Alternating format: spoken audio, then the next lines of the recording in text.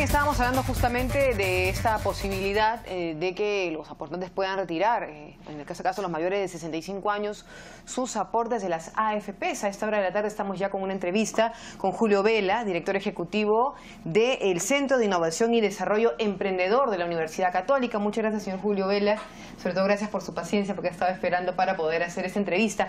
Nosotros queríamos enfocar, en este caso, las consultas eh, hacia usted, sobre las opciones que van a tener las personas que pueden retirar fondos, que estamos hablando de personas que tienen eh, definitivamente más de 65 años. Sí, bueno, Angélica, muchas gracias por la invitación. En realidad, eh, la ley está dada y esto ya no hay vuelta para atrás. Lo que sí quería, a veces la información llega un poco un poco raro porque he escuchado jóvenes que me dicen, oye, voy a sacar mi dinero de la AFP. Y en realidad no, o sea, tienes que esperar a tener eh, la jubilación y recién ahí vas a poder disponer, ¿no?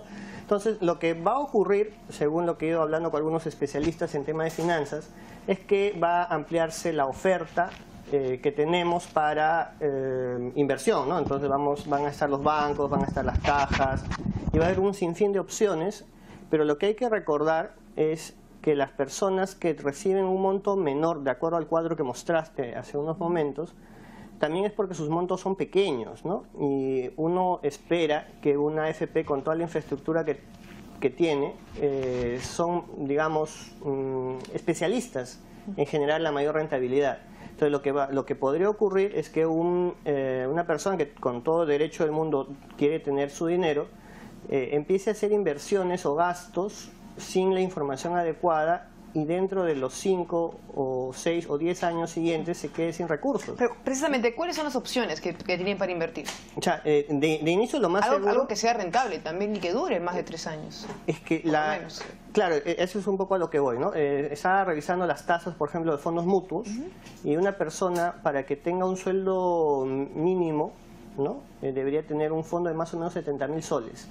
Entonces, eh, no es muy seguro que ocurra eso. ¿no? Una opción interesante, pero muy riesgosa también, y depende quiénes la apliquen, es eh, intentar hacer negocios. Y muchos lo van a intentar. O sea, muchos van a agarrar y van a poner su bodeguita, o como pasó pues eh, cuando hubo muchos despidos de personal público que llenaron el, país de, de combis. ¿No? Eh, porque parece interesante el negocio, ¿no? Seguramente muchos estarán pensando en hacer su negocio de comida o su negocio de bodegas. O comprarse unos carritos o comprarse un carrito y hacer taxi, pero la verdad es que esos negocios, si nunca uno está involucrado, es muy peligroso. O sea, lo, lo, que yo les recomiendo en todo caso, si quieren invertir, inviertan a través de algunos mecanismos que se están creando, que son los de ángeles inversionistas, que hay redes de ángeles inversionistas que no te permiten a ti arriesgar solo, sino vas colectivamente y lo que tienen que hacer es no poner todo el dinero en un solo sitio, sino distribuir, distribuir su, su riesgo una cantidad posiblemente en un fondo mucho más seguro, como pueden ser los fondos mutuos, ¿no? otra cantidad eh, posiblemente en acciones un poco más arriesgadas, pero que les permita generar liquidez, porque el tema de las FP no es porque eh, quieran pagarles poco. O sea, el, sistema es así, o sea, tú ganas de acuerdo al fondo que tienes, ¿no? Entonces, la única forma de que tú generes mayor rentabilidad es que salgas fuera de las opciones, porque lo que hace la FP es invertir en las mismas cosas en las que tú puedes invertir. Entonces, lo que se espera es que una persona sin conocimiento financiero pueda invertir mejor que una FP. Ahora, usted nos, plantea el tema de ángeles inversionistas. Sí, ¿Qué es exactamente ¿qué es, lo, qué, es lo que, es lo que está pasando en el país? En el país, eh, el gran problema es que se piensa en emprendimiento como el emprendimiento que es del, informal, ¿no? del microempresario que nunca va a crecer. Pero ya ha cambiado eso, ¿no? El, el, Estado está invirtiendo mucho dinero en crear startups de mucho potencial. O sea, tenemos emprendimientos que ya están llegando afuera del país y lo que requieren esos emprendimientos es financiamiento adecuado para ciertas etapas de su, de su avance. Eh, si esos emprendimientos tienen éxito, aquellos que van a ir junto a ellos van a ser exitosos también, como ha pasado en todas partes del mundo. Entonces, Los Ángeles Inversionistas es un, un, colectivo, porque además el tema de jubilación no solamente es un tema del dinero que te dan, es un tema de yo durante muchos años he hecho algo, salgo de trabajo y ¿qué hago? Entonces los ángeles inversionistas son personas que tienen mucha experiencia laboral o empresarial eventualmente y que ven a un emprendedor y le dicen, mira, yo te acompaño, te doy una partecita de lo que necesitas y voy a trabajar contigo, me voy a mantener activo y no en uno, sino en varios Y de claro, la idea, según lo que usted nos expone, es, redistribuir. O sea, retiramos o los jubilados retiran sus aportes, porque aclaramos, insistimos, son más de 65 años. las personas que pueden retirar, no, no los jóvenes que ya están haciendo números algunos, hay un poco de confusión, son los mayores de 65 años. Entonces, en ese caso, las personas que han decidido, que decidan a partir del miércoles retirar sus fondos, sus aportes, bueno, obviamente lo van a llevar a un banco seguramente, mientras una opción son los fondos mutuos, otro tema es eh, lo, que, lo que usted nos plantea, pero la idea es redistribuir y no solamente invertir en una sola cosa. Sí, lo que hay que hacer es redistribuir. El, tema es que los fondos pueden ser tan pequeños que lo que va a ocurrir es que como no les da, uno va al banco y te dicen, te voy a dar tanto, pero te lo voy a soltar en seis meses. Entonces ese dinero no lo voy a ver en ese momento. Y el gran problema es la sensación de la FP se queda con mi dinero porque queremos gastar, o sea, somos cortoplacistas, como sociedad nos gusta gastar, si tenemos dinero en la mano la vamos a gastar.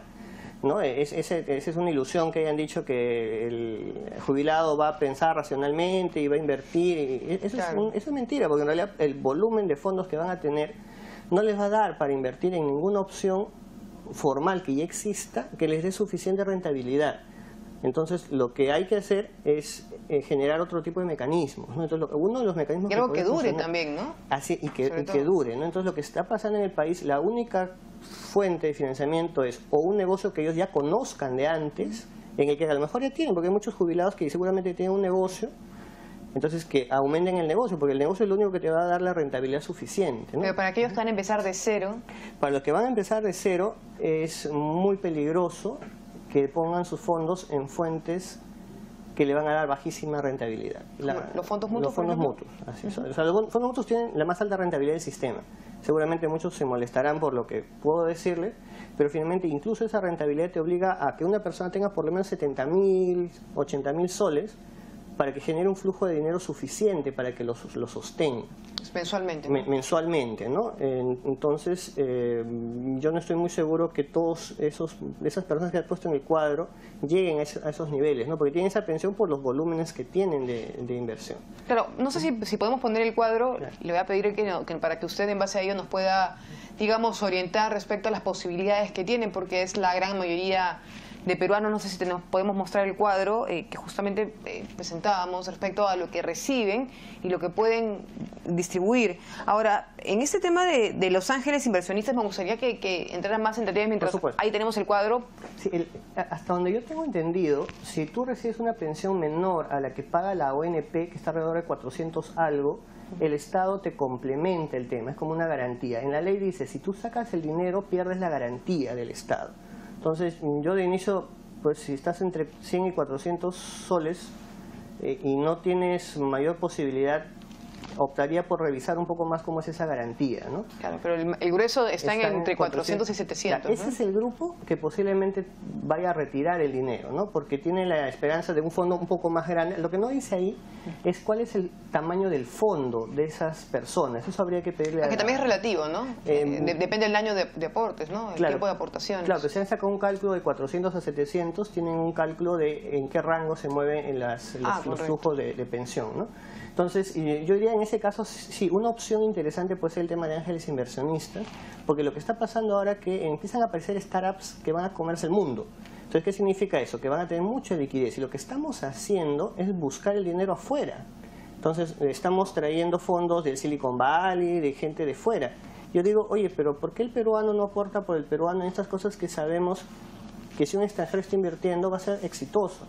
Entonces, mm, claro, no todo, pero un porcentaje podría... O sea, nosotros estamos creando una red de ángeles inversionistas justamente que eh, está formada por empresarios y buscan que hayan como comunidades de inversión, ¿no? O sea, son grupos para no arriesgar, ¿no? Porque el tema es altamente riesgoso. ¿Es la Universidad Católica? Es la Universidad Católica. Estamos formando una, una red de ángeles inversionistas. Una especie de asesores para alguien que no conoce, que es un empírico total en el Así es, y además para ayudarle a encontrar aquel negocio en el que pueda sentirse útil, ¿no? Porque no solamente es el tema del dinero, ¿no? O sea, el, dinero no, no, es, no es el único problema. El otro problema es yo me siento inútil. O sea, yo hablo con personas que han egresado, tuvimos un un programa de asesores de la experiencia hace un tiempo con, con jubilados. Y si bien es cierto, el dinero es un problema, también es el eh, sentirse inútil, ¿no? Entonces, eh, imagina, ahora estamos nosotros trabajando, tenemos un montón de cosas que hacer Y, hacer algo que te motive y que te incentive, ¿no? Así, entonces la, idea es buscarle emprendimientos que sean motivadores para ellos, cosas que siempre hayan querido hacer y en los que puedan participar dando su opinión, dando sus, contactos o trabajando eventualmente con eso. Pero lo que sí diría, no poner todos los fondos ahí, una parte, ¿no? Quizás 30, 40% del fondo porque eso puede tomar algún tiempo, ¿no? Puede tomar unos 3, 4 años y hay que darle espacio de, sostenibilidad durante ese periodo. lo mejor sin duda es pensar bien lo que se hace con ese dinero, ¿no? Sí, el, gran riesgo... Pensarlo no solamente dos ni tres veces, sino cuatro o cinco. Claro, el gran riesgo es que hagan fiesta, pues, ¿no? Se emocionen por todo lo que no han podido gastar antes y terminen quedándose sin fondos cuando más lo necesitan. ¿no? Esperemos que así no sea. No, igual estamos todos para ayudar y aconsejar. ¿no? En realidad no son, no son tantos, menos mal los que están todavía en condiciones, pero sí le decimos miren con cuidado. Los, el sistema financiero no, le, no, no, maneja bien montos pequeños. ¿no? Si, el que tiene montos grandes es feliz, ¿no? porque alguien viene, lo busca, le ayuda, le asesora. El que tiene más dinero le ve mejor. Eh, pero el que tiene poco dinero no necesariamente le va a ir bien. ¿no? Claro, pero no tampoco buscar cualquier asesoramiento, ¿no? No, eh, en realidad si alguien necesita, nosotros tenemos asesores en tema de finanzas que los pueden asesorar, cosa que nos escriban. ¿Y eso tiene un costo? Eh, de inicio no lo habíamos pensado así porque esperamos que las personas este, que recién están empezando no, no, saquen todo el dinero, pero pueden escribirnos a la Universidad Católica, el correo CIDE. ¿Cuál es el correo? CIDE, C de casa, IDE, CIDE arroba pucp.edu.pe y podríamos contactarlos con un asesor financiero que le dé algunas, algunas, algunas opciones, algunas ideas. Sí, una asesoría siempre es gratis, ¿no? entonces eso podemos lograr sin ningún problema. Una interesante opción para, eh, evidentemente, no gastarse toda la platita y, como dice, guardar pan para mayo. Muchas gracias a Julio Vela, director ejecutivo del Centro de Innovación y Desarrollo Emprendedor de la Universidad Católica. Muy buenas tardes. Vamos a continuar con más. Vamos a una pequeña pausa.